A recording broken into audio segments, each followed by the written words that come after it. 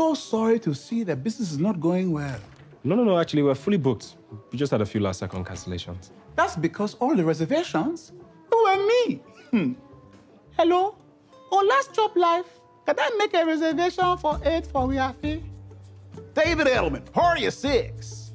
Starkey, party of four. Fab four.